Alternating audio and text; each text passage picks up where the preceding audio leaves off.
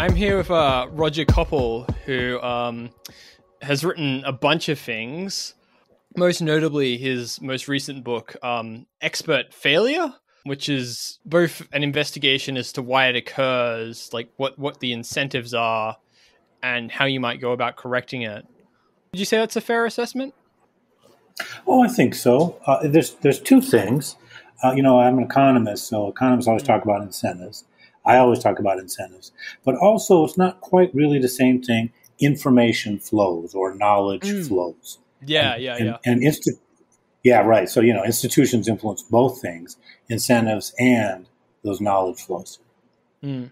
Yeah, yeah, yeah. No, that is actually, yeah, the the like information flows. That's incredibly interesting. Um, so you have um in in the book, and it's not an idea you developed in the. It's not an idea that you came up with for the book. I think you have another like work on it, but um, this idea of uh, this concept, um, information choice theory. Mm-hmm. Yeah, that's what I call it. Yeah. Mm. So, could you explain what that is for the audience, please? Uh, sure. That's my theory of experts. I guess you could call it an, an economic theory of experts because it comes from a kind of economics foundation. But really, it's just a theory of experts on all fours with like any other theory of experts coming from philosophy or science studies or sociology. Um, so the idea is that a, an expert is, is anyone paid for their opinion. That's real important. I'm, I'm getting information choice theory in just a second. Yeah, That's real important because if, if we define an expert as like by their expertise, which is pretty much hmm. universally mm. what folks have done, uh, I, I, think you just you just can't you just can't you know work your way out of the cul-de-sac or whatever the right. It's self-referential because well, kind of you know because then I'll, then I have to if if if if, if, if an expert is someone with expertise. Well, wait a minute. Mm. We all have a different place in society. We all have a different place in the division of labor. Each of us, therefore, has their own unique place in the division of knowledge. So we're all experts. Well, wait a minute. If everybody's an expert, nobody's an expert. So how can that work? You know, we're doing the intellectual work for me. You know, I'm not. I'm not making progress here and and I easily slip into the to the sort of the trap of like trying to figure out like who are the true experts and who are the charlatans, you know. In other words, trying to right exactly, you know that and, and again that's kind of a losing game. If I am myself an expert in an area, I may be able to criticize uh, claims that you make based on your expertise, and maybe I'd even be right. Who knows, right? But that's that's not a theory of experts. So if you want to have a theory of experts, you got to go to their role in the system. And their role in the system, their contractual role, they're the ones that are paid for their opinions. So, so, so if that's an expert, then a theory of experts is really all about the choices of experts, what information they choose to convey to others, including, of course, their clients. So it's an information choice theory. Mm. And then the references also to so called public choice theory, mm. the Virginia School of Political Economy sort of critique of, mm. um, of government, of including representative uh, democracy. Hmm. Um, you know, now, now, let's be clear, you know, they're supporting, like me, they support representative democracy. They're not like hmm. anti democratic or something like that. On the contrary, that the point is to, to make democracy as you know, good as we can make it and stuff. Hmm. Um, so that's public choice theory, which has a theory of uh, government failure to, mm. as a sort of dual to the, to the theory of market failure. Well, in that same Virginia school tradition of political economy, I have uh, information choice theory, which feeds into, supports, and gives us a theory of uh, expert failure. Mm. Broadly analogous, you know, to the theory of government failure how how does expert failure happen? I guess um. that's the question. And look, yeah. there's uh, there's a lot of issues. Um, and maybe I'll get to a couple of them, but the mm. really the really core nub, most important takeaway from my point of view mm. uh, is to ask yourself two questions: Who's choosing? Do they have a monopoly? Mm. So, so who's choosing the expert or the non expert? Is the expert merely advising the non expert, or is the expert choosing for the non expert? So if, if the expert is choosing and not merely advising, that increases the chance of expert failure. of the expert somehow failing in their you know responsibility, either giving an untruthful account or uh, failing to uncover appropriate considerations or whatever, somehow coming up short uh, in their advice. The chance of expert failure is greater if, if they're choosing instead of the non-expert choosing. Um, but also, you know, monopoly power matters. If the expert has monopoly power, then the chance of expert failure is greater than if they are, in some good, appropriate, real sense, competing one against the other. Mm. Now, you know, this poor word competition gets well, it gets a lot of attention in my yeah, right. You are right to laugh, right? Because yeah. So it gets a lot of attention in my book precisely because it means so many different things and stuff. Mm. So um, I always got to flag that. There's no real substitute for it.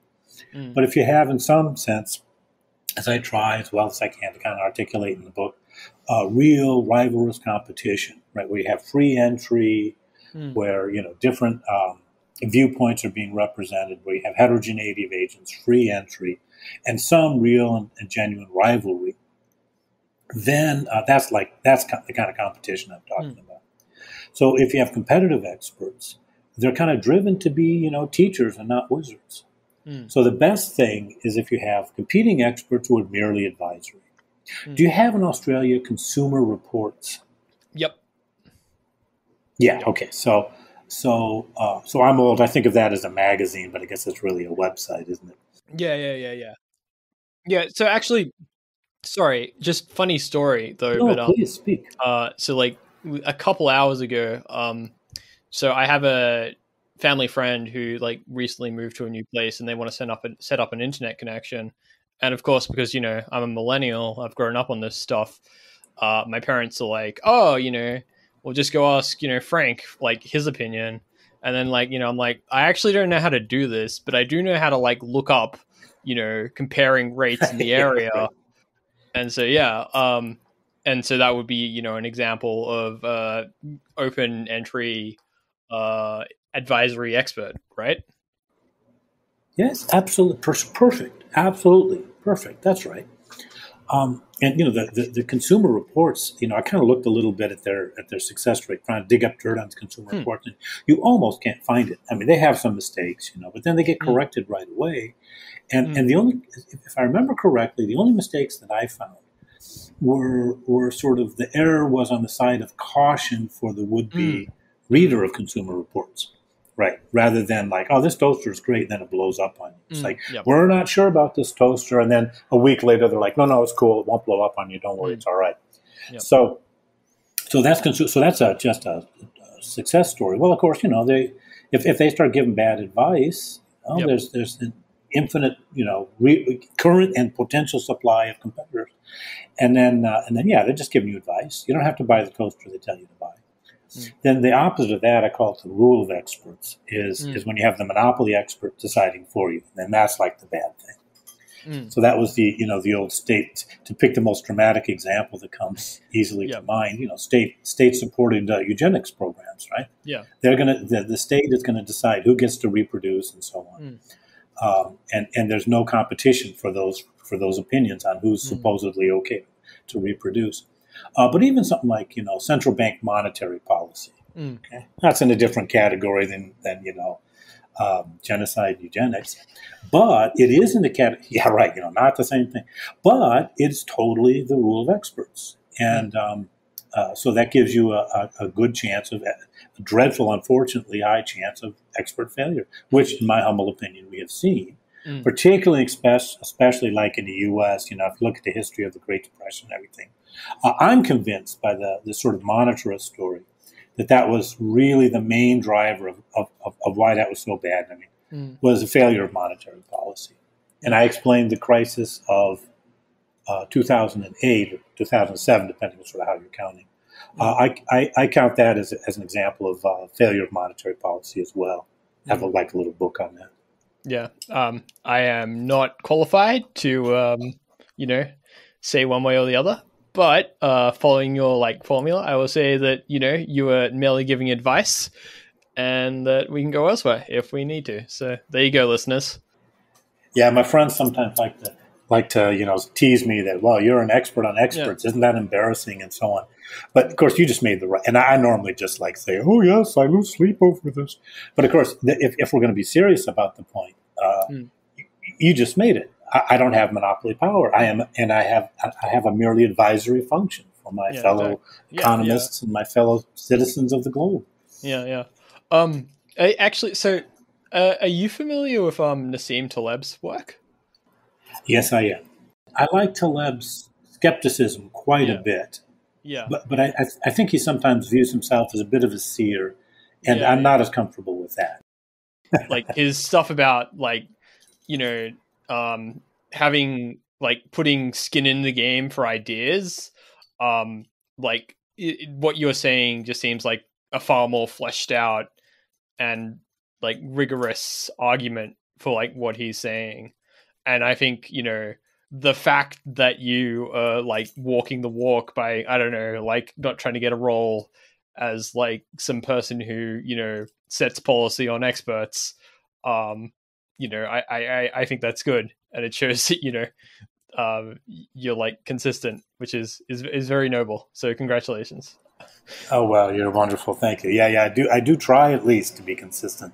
Mm. You know, it's it's it's it's hard to know because you know our models of ourselves are never yeah. right. Yeah yeah. So so it's if if if i have been consistent well that's that's reassuring. Yeah, yeah. so I, I think actually this brings us to the um other thing that i really wanted to talk about with you. Um why can't we just get a class of people who can you know like sit down and do some equations and like actually be like yeah like this is what you know society should do? Like why should we be skeptical of that? Yeah um where do i begin first let me calm down. Um, but no, of course, of course, you know, the devil's advocate, actually, that's very important, right? Mm. To have the devil's advocate, that's, that's part of Mill's defense of free speech, right? Mm. So even, even if we had a view that somehow we could like magically know is right and everything like that, you still need to contrive, construct, and do the best you can to work up the counter arguments so that we, so that we actually understand the issue and are able thereby to, you know, adhere to whatever the relevant principles are at work. So, so I'm not really angry. And that, but now having babbled all that time, I've gotten off the thread. What's the issue? Oh, why can't we just have? Yeah, yeah. Just give it to the, just give it to the smart people and let them make all the decisions. Mm. Well, um, I think that was kind of your question, right? More specifically, are there any mathematical reasons why we might, might not want to do that? Well, just first a word on people, right? I mean, yeah. I mean, um, uh, people are people. So that's yeah. that's that makes that plan already uh, yeah. kind of a non-starter for me. Um, you know, I believe in people, I support people, but you know, people give them power, and then there's danger. Yeah. So my my sort of slogan at the end of my book uh, on experts is uh, value expertise, but mm. fear mm. expert power. Um, but yeah, then mathematically, I mean, we're inside the world. And then we're trying to model the world. Mm. And so that means we're trying even to model ourselves, uh, which is not somehow like futile or impossible. But the model can't be perfect. Mm. The model can't be predictive. I can't predict, you know, uh, to steal from a Karl Popper here, I mm. can't predict what I'm going to learn tomorrow. Mm. Because if I had tomorrow's knowledge today, it would be today's knowledge, not tomorrow's knowledge. Mm. So if, if you have a system that's learning, if you are learning, then your model must be, it's got to be, it is incomplete. Mm. Um, so then, you know, if I have, you know, the this, that sort of fantasy of the, you know, the sort of Isaac Asimov fantasy of like the mathematical model that predicts it all and everything, that means there's no learning going on in the system. I've learned everything about the system that mm. there is to learn about the system, so my mathematical model works. But if, if, if I'm in the system, that means there's no more learning for me. And it means that there's no more learning for you either. Mm. Well, I think people do learn. And I, I think that our model of the system has got to be incomplete if we are in the system. So that's that's kind of um, that's kind of an odd one. That's something that uh, one of my sort of intellectual lights, F.A. Hayek, struggled mm. with. Uh, it's something I'm struggling with right now to really somehow show that that's right. Mm. Um, but I feel quite strongly that it is because right it, it, it involves us it involves us in this issue of self-reference if i'm in the model and i'm modeling if i'm in the system pardon me and i'm modeling the system and i'm modeling myself that gives us self-reference well self-reference produces all these paradoxes like the, Mm. the liar's paradox Mm. Like, this sentence is a lie well wait a minute it's a lie if and only if it isn't a lie right so so you get this kind of self-referential paradox when you're modeling yourself Mm. and the only way out of that self-referential paradox is is to have the model of yourself to be relatively open-ended. Mm. But then you don't have a closed model. You can't predict the system. So that's kind of the a loose overview, like the mathematics of these issues. Mm. You- You're probably thinking somewhere in the back of your mind of the, of the famous Gödel's theorem. yeah yeah yeah Uh, wh- Yeah, um, where he where he shows. So, so what does Gödel show? Um, well, the way it's usually expressed is that, that if you have a if you have an axiom system rich enough to give you arithmetic, the arithmetic of whole numbers, then you're going to have in this system theorems that you can state, but you can't prove it, you can't disprove it. Okay, Hmm. so that's undecidability. Now, uh, you know, footnote: uh, a guy named Barkley Rosser was the first ver- person to prove what I just described, um, be, be, because um, Gödel had to rely on a notion of omega consistency rather than the broader notion of consistency. So there's this little technical detail. Actually, Yeah. the, the first guy to prove Gödel's theorem, as it's usually described, is some guy named Rosser, not Gödel. But of course, the great pioneer, the great mind, the, the, the wonderful thing work was done by Kurt Gödel, who deserves every particle of fame he gets for that. Mm. Um, and then and then a guy named Alan Turing, who's now like a sort of a cultural hero. Uh, Mm. He he developed the same, essentially the same ideas or similar ideas, um, in in a kind of um, a more definitive form to show that, uh, and, and as Gödel himself noted in 1967, any system you just can't have a system. Okay, that uh, you know Gö- Gödel's theorem is for systems consist uh, of the sort that Russell and Whitehead in their famous Principia Mathematica book described. So there was a certain limit of its application. With Turing, all such limits are off. You know, um, uh, right? So so you you can't have a system uh, that's that's you know rich enough to give you the arithmetic of whole numbers and is fully decidable. Doesn't Hmm. exist. So anyway, so so that's kind of at, at the root of Hmm. a- all this uh, idea of the, of the difficulty and the problem and the paradox of self-reference. Hmm. Why it is that we can't imagine ourselves to have somehow a computer program. We just put in the current data of the current system, which is already a challenge. How, how'd you get that data? But Hmm. somehow, magically, we supersede that problem. We've got all the data for uh, the whole system right now. We put it into the computer. We turn the crank, and what comes out? Well, the, the computer never never cranks out anything. It can't finish the program. It can't close the model okay? because the computer is in the model. And um, uh, this this Gödel Turing uh, literature shows why that's a kind of mathematical necessity. I find this sort of thing both really fascinating, but also um, I I am like vaguely aware of its of like its history, and I know that it's it's it's it's, it's kind of like quantum mechanics in that you know uh, it's been misapplied in a whole bunch of areas to make some really stupid arguments. Um, but Yeah. um, you you so you've um I, I you've got at least one paper I think probably more uh where you talk about like computability economics. Is that right? Mhm. Yeah. Well, well, the Velupillai's term is computable economics, and Yeah. I, I like that a lot. Although there are some differences between me and Velupillai, but yeah, his term is computable economics. Yeah, yeah, yeah yeah so like so you know we've like known about this um we've known about like this you know uh uh feature of mathematics for boy like almost a century now but um from what i can tell like it's only really i don't know like the 80s uh when people started seriously thinking about this um and its consequences for like social science um so is that true? First of all, is that true, or am I just missing? Like, there's some people who were thinking about this beforehand. Yeah, well, I mean, there's, there's always been some folks. A guy named Lewis was doing work early on. It's just beautiful. Hmm. Um, I think it was it was Velupillai who kind of opened the floodgates, and he brought in uh, a guy named um, Francisco Doria, uh, and he and uh, Newton da Costa did some hmm. some beautiful work on these kind of things. Uh, uh, Doria was trained as a physicist. Da mm. Costa, I think, was probably trained as a mathematician, but it occurs to me I don't really know. Mm. Anyway, um, and, and and and they've they've done a lot of work on on all this kind of issue just in general, mm. and then applied it to the social sciences. Mm. Um, so yeah, it's relatively recent that you get some of this literature that I'm building on. Mm. Um, but you know the, the but but again, Lewis and others, you know, early on were worrying about this kind of thing.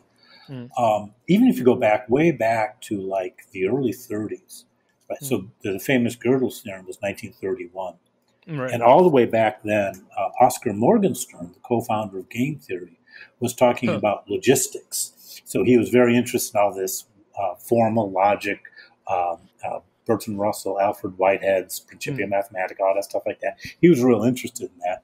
Uh, so he was aware of some of these issues. Um, the so-called Austrian School of Economics, mm. the son of the founder, Carl Menger, who's also named Karl Menger, uh, was was very involved in these kind of issues.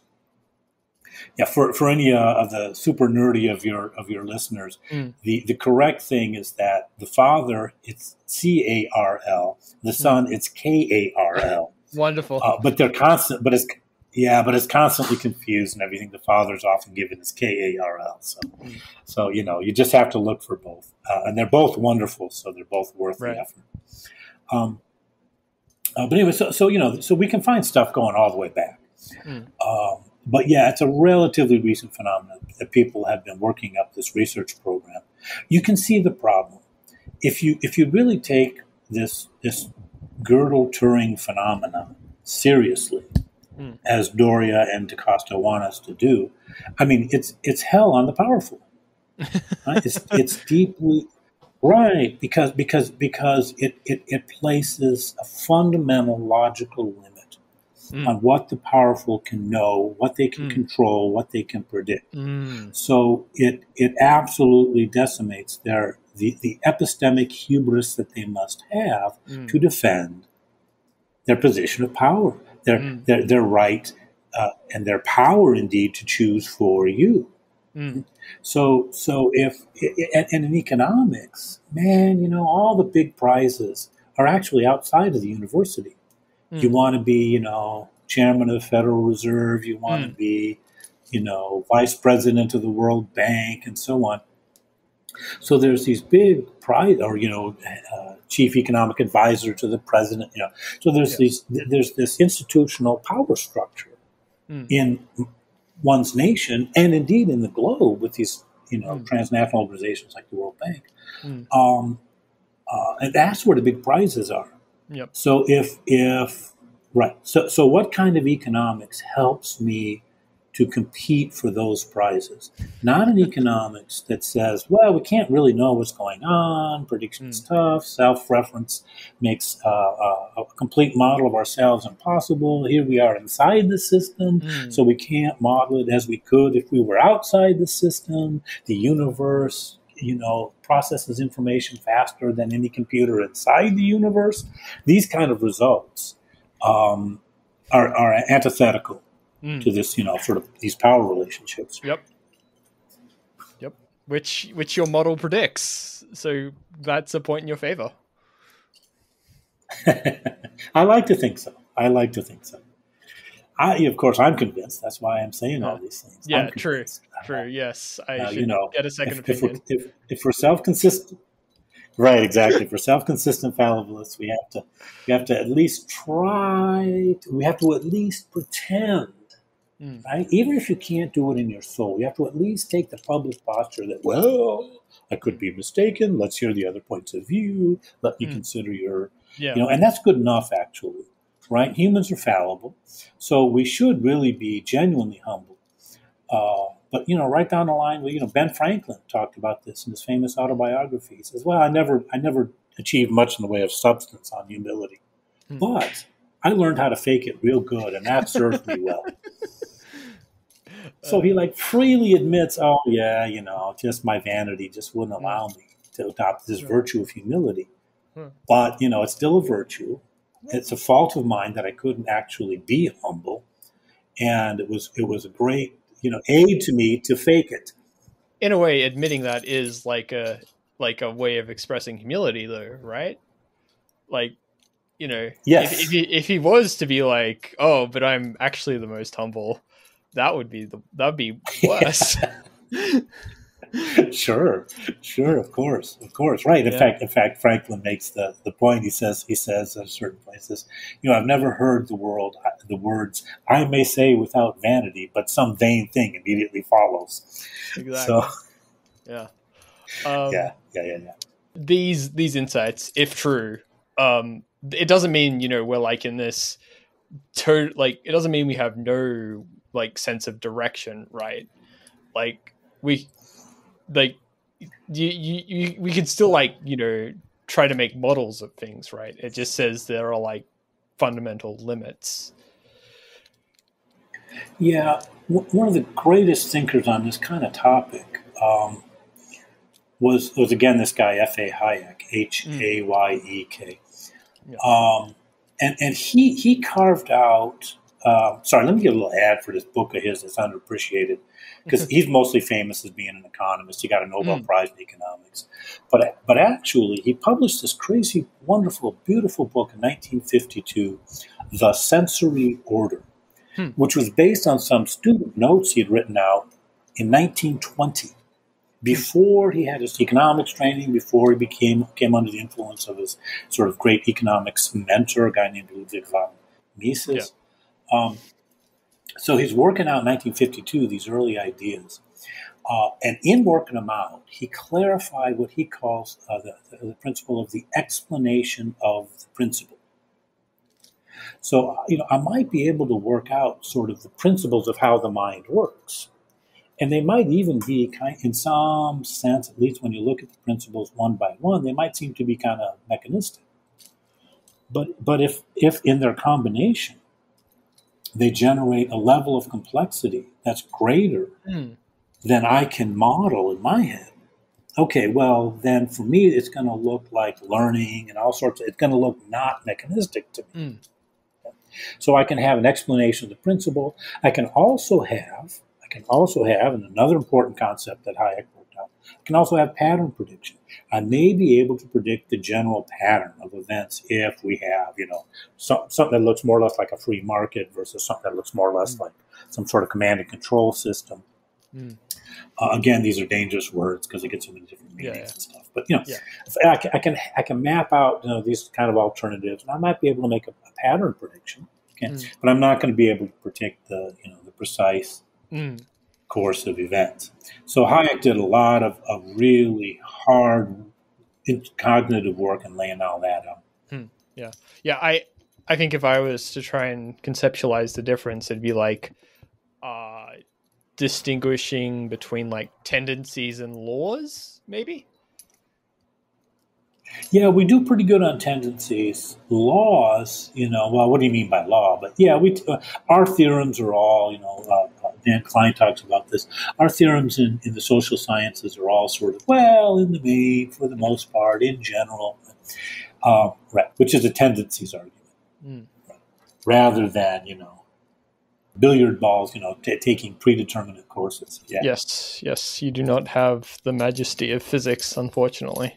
Yeah, although although even physics bumps into these sorts of things. You mentioned quantum mechanics. Yeah, that's kind of a closed book to me. But but but apparently apparently in quantum mechanics, you know, they have these ideas of like the wave function collapses mm. when the particle is observed, stuff mm. like that.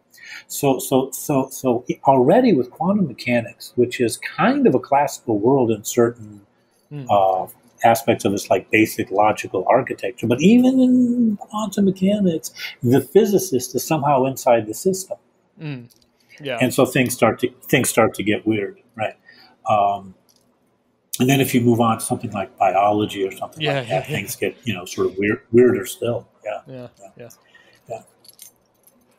In fact, part of the thing with like Stu Kauffman's work, and, Mm. and including the work that Stu and I are trying to do together, uh, is exactly as we move from sort of you know um, Mm. Newtonian mechanics to quantum theory to biology to the Mm. social sciences. These kind of problems of of learning, of open endedness, of self reference, of what you can infer from inside the system versus what you can infer from outside the system. All that sort of stuff gets sort of bigger and bigger problem, a greater and greater limit as you move from basic, you know, Newtonian mechanics of the sort you need to know how to build like a bridge or something Mm. to the social sciences. Mm. These problems just grow in size and importance. Uh, which again, good old Hayek, you know, he was he was there on so much of this stuff. Mm. Uh, that's why you know Hayek uh, insisted that um, the, the, one of the key things about social sciences is is this com- issue of complexity. It's just an order of magnitude more complex than what we generally call physics. Mm. So you know what science looks like suddenly changes when we get to this kind of uh, area. But a lot of this complexity is, is, is, is working has worked its way back down to physics. Some people in my audience might be familiar with um Stuart Kauffman's work, but um I'm going to assume most aren't. So could you like he's done like a lot of stuff. Um just go look at his Wikipedia page. But uh could you kind of like summarize what you two are trying to do together? Oh gosh, you know, I'm not sure I can. I'll do my best. Uh, so Stuart Kauffman, Stuart Kauffman was originally trained as a, as a as a doctor, as a medical doctor, and he practiced Yeah. for a while. Um, but then he was sort of driven back into academic stuff. He has, you know, he's one of the great minds of our times. Uh, he's a very important mind. Um, and he, he kind of got known as a biologist. So sometimes he's, he's classified as a biologist. Done, did, done important theoretical work um, in biology. And one of the one of the you know deep insights he had was that we get order for free. Mm. So, so you have a system, right? So, so in physics, right, you have a system. There's like particles in motion, you know, um, and so the, you- you're going to go to a low, um, a, a, a, a low order state in that system. So that's the so-called second law of thermodynamics. Everything's just going to kind of dissipate. Sometimes people use the term heat death, right?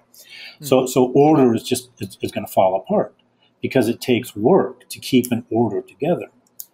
Um, but, but Stu has shown that actually you can get, even with just like molecules, right? So we don't have to have like anything that looks like life, you know.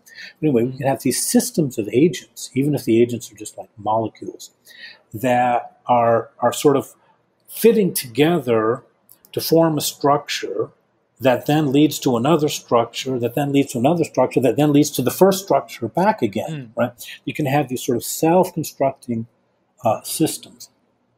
Now, you know, if if we had an infinite number of particles and their initial interactions were random, so any one particle might interact with any other particle with the same probability, and there's no structural nature to the particles, they're just little dots. Uh, then we don't have any toothing stones. We don't have anything to grab on, no hooks to Mm. cause this kind of combination to happen. But if you look in the world, no, I mean molecules have, you know, uh, the the different, you know, uh, valences of attraction and repulsion between them, and so on. So there's plenty of hooks Mm. for the particles to to have this kind of um, uh, interactions that allows for self-constructing orders. Mm. And this is very important for something like you know Darwinism. For a while, Stu was getting construed falsely, mistakenly, getting construed as anti-Darwinist Hmm. Uh, because he was engaging. He was engaging the problem that in in the amount of biological time that we've had for this complicated biosphere to, to emerge. I mean, ha- have we ha- have the have the Darwinian mechanisms as traditionally construed Mm. really had enough time to produce that much order? Okay, that was really a, a, a serious and is a serious question to which one might plausibly say, "No, nah, it doesn't seem like that's enough time." Well, Stu showed that if you get quote unquote order for free in the sense mm. I just described, oh, okay, then we have had enough time. Right? Uh, if these so-called autocatalytic sets uh, are a characteristic feature of the world, mm. then um, yeah, then yeah, we've actually had plenty of time for this kind of order to emerge. So what what Stu and I are now doing is a couple of things. Um, for, one thing, we're we're showing that these autocatalytic sets apply to social science as well as to the to the biological sciences. Mm. Right. And then Stu has, has kind of rediscovered actually a principle that, that I learned from uh, Mario Rizzo and Jerry O'Driscoll at NYU many years ago. Uh, the, un, the listability problem, mm. which the mm. famous GLS Shackle also made a big deal out of. One of my teachers, Ludwig Lachmann, made a big deal out of it. We can't, you know, list all the possibilities. So Stu's example, he asks, uh, uh, how many, what, you know, list for me, please, the uses of a screwdriver. Well, you know, you can't. Right? Mm. Um, it's, it's, an in, right, it's an okay, but but if I can't list sort of list out all the possibilities for the system, I can't have a complete and closed model for the system. If I have, and now go back to the earliest work that I did with Stu, if we have an, uh, uh an evolutionary system, then what I can't then um, the the so-called phase space, right? of mm. possibilities is, is itself evolving. So what does that mean? Well, look, if I do like a physics model, like something you learn in you know freshman physics or something like that, uh, then I have a space. It might be like physical space, or you know, it might be some combination of temperature and pressure for a gas or whatever. But anyway, I've got a space of, pro- of possibilities.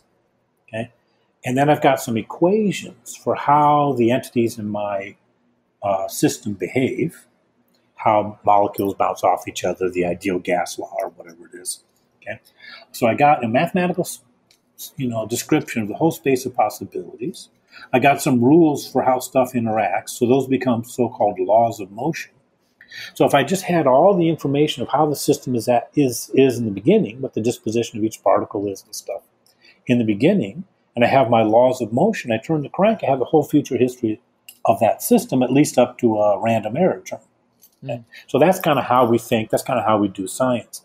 Well, wait a minute, if I have an evolutionary system, that doesn't really work.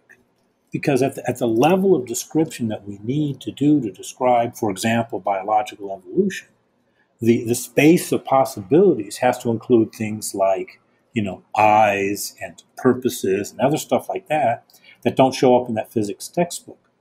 Well, those those dimensions of the phase space they're emergent. I can't mm. predict them ahead of time. Okay. Well, wait a minute. If I can't, if I can't even describe the space ahead of time, the space of possibilities, the so-called phase space, okay, then I can't have so-called laws of motion mm. that are going to tell me where the system's going. Right. I'm going to have to learn about the system as the system evolves.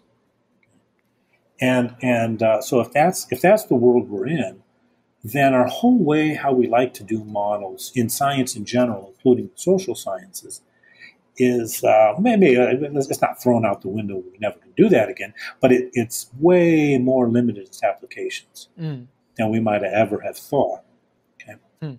I can't, I can't, you know, not only can't I tell you what's going to happen tomorrow, I can't tell you what what the possibilities are, what's possible to happen tomorrow. Mm. Okay? So that's the way just evolutionary systems are in biology and therefore also in the social sciences. So that suddenly leads you to a whole different way how you got to approach the stuff. Mm. You know, you got to have novelty generation in your model. You've got to have creative evolution, to borrow a term from Henri Bergson. Bergson. Mm. Uh, you got to have creative evolution in your system, and that's mm. just not how we do, you know, traditional mainstream economics or social uh, is not how we do traditional mainstream economics. Uh, and again, this whole open-ended vision, it's real bad if what your goal is is to have like good monetary mm. policy, mm. to direct monetary policy for the federal, mm. uh, for the central bank of your of your national government or something like that. Mm. Right? Again, it's kind of a um, uh, debunking sort of a, it's not it's not intended as a debunking exercise, but it has this kind of debunking effect uh, of saying, well, wait a minute, you know, the, not only is the system not predictable, it's, it's got to be in order for you, you know, experts to run the system. Mm. Even the possibilities are not predictable. Mm. Yep. There's things to learn about it. If we can't know ahead of time, like at the bare minimum, that should mean considerably more decentralization uh, than we have now. Uh, would would that be correct?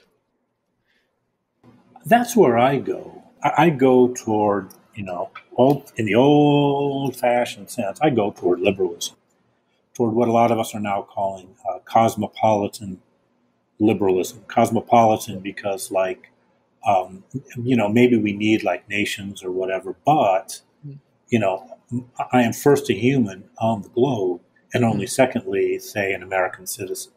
Mm. So in that sense, you know, instead of being prizing my own sort of geopolitical space, you know, or region or country or whatever above others, mm. I take a more cosmopolitan view. So, so yeah, yeah, I'm, I'm driven to cosmopolitan liberalism. Mm. Now, we, now we have to be we have to be smart though. I think you used the word decentralization. Mm. Yeah, pretty much. Um, but wait a minute, De- details matter. Mm. Uh, if things are all open ended and all stuff like that, like we've just been saying, if we have to learn, as we've just been saying, then it's unlikely that any short algorithm of mm like, well, you know, have these mm these five rights written into a constitution and have mm you know this level of political right that, that any short algorithm for decentralization and human mm. rights and stuff is going to work. And, and I'll give you an example. Yeah. Right? I'll give you an example. I mean, the civil rights movement of the 60s in the United States, right? The, the federal government really did kind of need to take over certain functions that, in a different context, you might have said, no, that should be local, that should be local. Yeah, except the local authorities were oppressing black folks, mm. you know, both informally and informally. So you needed federal intervention if we were going to end that, you know, violent and both violent and coercive oppression of black folks. Mm. Um, so that's what the that's part of what the Civil Rights Act of 1964, being a very famous piece of legislation here in the U.S. That's kind of part of what that was was all about. So you so you could no longer because of federal law, you could no longer put out a, a sign preventing you know saying that black folks aren't allowed in mm. uh, to this business. You couldn't do that anymore. Um, now you know. Uh, and then importantly, importantly, if you're a business in the Old South and you wanted to have an open door for for people of all colors and ethnicities, uh, yeah, but wait a minute, because the the local sheriff might you know assist in the torching of your business if you have you know right so so so you couldn't do mm-hmm. that because of the the the, the structures of oppression that existed at the local level there mm. so when the federal government comes in and says oh it's a violation of federal civil rights law to exclude black people from your from your restaurant Okay. Then suddenly I, the entrepreneur, am like free to serve black and white people alike. Right? It's a great liberation, actually. Mm. So, so this little story that I've probably gone on too much at length on. Sorry about that. But anyway, mm. that that example shows us that a principle like decentralization, as good as it is, mm. okay, mustn't be applied with a kind of wooden rigidity. Mm. Yeah, we've we've we've we've got we've Right. We got to pay attention to what the current situation yeah, is. Yeah. We never had. Uh, I, am I'm, I'm I'm not myself an anarchist. I think mm. you, Frank, are you an anarchist? I think you might yes, be. Aren't you? Didn't you tell me? Yeah, yeah, um, yeah. So, so, so, so, so, but we never. So let me let me just for the moment take on mm. that you know sort of anarchist libertarian view. Mm. Okay, but we never had the anarchist libertarian you know perfect system like mm. maybe we should have ought, ought to have had. Okay. Uh, uh, so, so, so, how do we get our current system yeah. to move towards something more like that? Oh, yeah, okay. You have to you have to open your eyes, pay attention, see what the particulars yeah. are. So, in the again, in this example from the 1964 civil rights legislation, hmm. maybe something that on that most bare principles you wouldn't have wanted to do, give hmm. power to the federal government, maybe is actually the liberty improving move. Yeah, yeah, yeah, yeah. No, I I am. I, I think that the world is incredibly complex and that you know you are going to have to make pragmatic uh, concessions to that. Um, and you know, well, you know, like, the, the institutions didn't have a chance to evolve. So, like like medical licensing, I, I think we can repeal the medical licensing relatively straightforward if only there was a political. But you can't just say, okay, every, anything goes, right? You have to figure out how to unwind it. Because what we didn't have was the, the evolution of market institutions that reassure the consumer who's a good doctor, who's a bad doctor. So, uh, so we're in the desert instead of the forest. Yep. Yeah, yeah, yeah, absolutely. No, no. There's this um. There's so you probably know about um Yaneer Yaneer Bar-Yam. Um, he's a New England Complex Insti- Complex Systems Institute. Oh yes. Yeah. So he he he actually has a paper on um he has a paper on like violent revolution and social change, and um he makes the point that uh like just statistically speaking, like violent revolution tends to result uh far more often in autocracies rather than more open forms of government. Yeah and his argument basically is yeah. like you know open more open forms of government are better on all these metrics but um like they're more complex and so they take more time to build. And in the middle of like a violent revolution you don't have that time. Um and i i i, I take that incredibly mm-hmm. seriously. Um and yeah. yeah no, that's that sounds like a right analysis as I hear you explain it. Yeah, yeah, that seems right. And that's that's kind of along the lines I was just saying. Yeah. Yep. Yeah. Well, you know, my friend Pete Boettke at George Mason University insists mm. on uh, the idea of anarchism as a research program, mm. and um, I think there's great strength in that. I, I was going to bring up actually um, James C. Scott's stuff, uh, which seems really, really, yeah. really close to what um you're talking about with like you know, uh, like dis um, you know, disenchanting the notion of like elite uh, decision makers. Um, you you're probably thinking at least in part of his uh, seeing like a state, and yeah, yeah, that's a just a it's it's a beautiful work. All the stuff you're talking about could be like if he ever does like a second edition, it it deserves to be in there. Damn it. well, thank you for that. I would be honored if that were to happen. Yeah. yeah, I think I think you know that seeing like a state stuff and what what I'm trying to do, particularly mm-hmm. include and including my stuff with uh, Abby and Stu Kauffman, mm-hmm. Abby Devereaux and Stu Kauffman. Yeah, I think it fits super well with that seeing like a state framework. It's a beautiful book. I was actually going to say all this like uh, monopoly expertise. All of this is only a problem if you actually care about other people. If if you're just like if you're just like openly yeah. authoritarian and you know you're like yeah i just have this vision of what life should be like and like i don't actually care what the people who have to live with it uh, actually go through these objections they sort of matter in that the system has to interface with reality and so you know it needs to be like stable in that way. If you just want to maintain a regime of power for the sake of maintaining a regime of power, it doesn't matter that people are getting, you know, screwed because of your like poor decisions that are derived from complicated mathematical insights. You, you can kind of just like shrug your shoulders at that and be like, yeah, but you know, like good for their essential nature or whatever. That's a price to pay. That's not, you know, an objection, mm-hmm. but I think it's worth noting that like for some people, the fact that they there is no like you can't have like actual consistent experts who can like properly manage complex systems.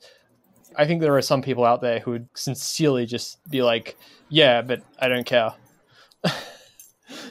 yeah, well, yeah, that's you know that's kind of the old you know uh, Acton line that uh, power mm. tends to corrupt. Absolute power tends to corrupt. Absolutely. Um, but but the thing is, in the modern world, power is no longer um, as as secure as it was mm. before, before, the Industrial Revolution. I mean, think of the Soviet Union. Mm. So I mean, it was terrible. It was you know lots of violent oppression, authoritarian, indeed totalitarian regime, and so on and so on and so on. It was awful, but it fell apart. It couldn't you know persist. Uh, so it, it lasted. Well, it depends on how you count and everything, but give it call it say seventy years, mm. right? Uh, it, it, in a in a in a time when many many people live more than seventy years, right? So not even mm. a full lifespan. One human lifespan was covered by this period of Soviet uh, by the Soviet period. So um, you know, in in, in loose uh, lingo, you know, markets work, mm. command and control doesn't. So um, I'm a I'm an optimist for the long run, right? As as as as mm. dark as a vision as I accept of the, of the, human nature. that You were just saying, you know, yeah, people like power. Mm. You know, Adam Smith spoke of uh, the love of domination and tyrannizing. Yeah, that's in us. It's terrible. Mm. Uh, watch out. Maybe it's in me. Watch out. Maybe it's in you. Um, that's just in the human beast. Uh, mm. but uh, after the Industrial Revolution, uh, the world changed, where the you know the, the the productive the productive thing is, is free exchange, decentralized decision making. Mm. Authority is is unproductive. Mm. So so so the, the, way that things actually worked in the old Soviet Union was through markets. They were mm. still markets. They were kind of suppressed yep. and controlled yep. and stuff. Yep. But there was still market. Same thing in, in, in North Korea. How they actually eat in oh, North yeah. Korea is through is through black markets. In fact, the black markets have become sort of charcoal gray, you know, and some of them gray and some of them, you know, off white, and you know, th- that's how they actually live. Mm. Um, and and I, I, have some optimism that mm. uh, Korea may open up soon. You know, all yeah. this, uh, you know, back and forth with uh, Kim, the current leader uh, it Kim Il Sung now, I think is the Kim, Kim Jong Il, pardon me, the current leader. Um, you know, it, it, it, seems like he's trying to figure out how to open up mm. without, you know, just busting the system apart and ruining everything mm. for the elites. How's he going to do that? Mm. Um, but it does, you know, my vibe from very far away is that they're, they're trying to open up the system because it's mm. not working anymore. So, um, in the long run, you know, t- a tyranny is always a threat. Tyranny is bad. Tyranny is with us. But in the long run, I think free exchange is the winner, and and I'm, mm. I'm optimistic in the long run. Mm. Yeah, yeah. I, I I see it actually more as sort of two general strategies. There's like the more centralized, simple one, which is you know effective in a small number of domains and it also is most effective at the beginning for a variety of reasons that I think have to do with processing information. And then there's the more hmm. decentralized one, which, you know, in certain domains is like inefficient, quote unquote. Uh, but uh, and and and like and has and takes longer to like build up. But once it is once it has built up, it's like over a variety of domains, it can like perform quite quite well uh, and like it it doesn't win by like you know direct confrontation. It wins more by like eroding um around the edges and like finding avenues uh that like you know the uh, other system like never even dreamed of that it could exploit. I um uh like for example i'm currently uh I, I'm currently like looking into the um the history of like left wing movements in the um 20th century. Uh, one of my sources is this pretty good book called um Forging Democracy, um, by I think Geoff Eley. Anyway, they they have like a chapter in there about like popular culture and about how like one reason that the socialist parties that you know were these massive things uh, one reason they fell apart was like their vision of like popular culture was this sort of very austere, very like collectivist uh, yeah. vision where like you know these like socialists would get together and they'd do like you know these coordinated dances and stuff but then you know the capitalist culture was like yeah. you know like movies and like you know pretty dresses and all this other stuff and like you know this came along and all these socialists they just didn't know what to do with it and and like i think i think in like and that actually goes to your point about like you know you can't like list the uh like the uses of something or you can't like state the phase space of something you know, like Marxism had these pretense, of course, you know, being in the social sciences of like being, you know, like this complete theory of everything. And then, you know, like all these different things came along that it never foresaw and just completely like obliter- obliterated it. Yeah, I, I, I agree with that so much. You know, the like our the, the secret weapon of you know um, uh, the forces of liberalism is Yeah, like yeah. Hollywood and the, the awesome Yeah. movies and, and stuff that you know. In, the, in an earlier age, I used to speak of you know designer jeans. There was a time when that was you know, and and the, and the right. So so the people who were sweating, uh, you know, I don't know what you know. I think there's greater liberalism in Mm. Iran today than there was when I was younger. Although of course you know the mullahs are Mm. still running stuff. But anyway, in an earlier epoch, you know, the, the, the people of Iran, they wanted those designer Yeah, jeans. that was kind of the secret weapon of, of, of the West. Yeah. Uh, yeah. So I, I quite agree with that. I think that's I think that's so right. Yeah, yeah, yeah. Actually, an even more topical example is I think um, uh, Kim Jong Il uh, recently came out saying that like he wanted to ban K-pop in uh, North Korea, uh, both like the music but also like the hairstyles, um, because you know he saw it as subversion. Yeah. Yeah. Great example.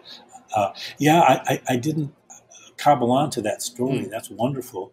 Uh, but although I did see that he's got this list of like what haircuts are acceptable in North Korea.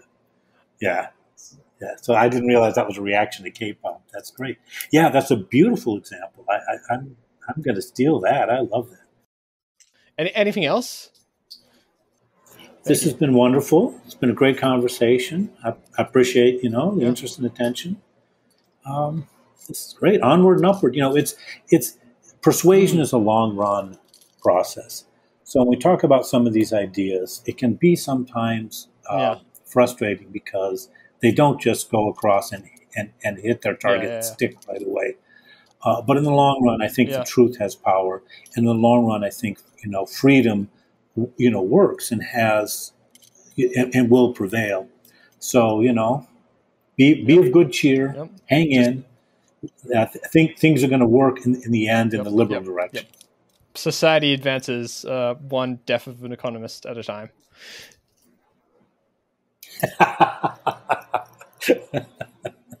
As an economist, I have mixed feelings about Oh, well. that statement you just made. At least, at least it'll give you a deaf meaning. no, that's charming. That's great. All right, I'll end it on that.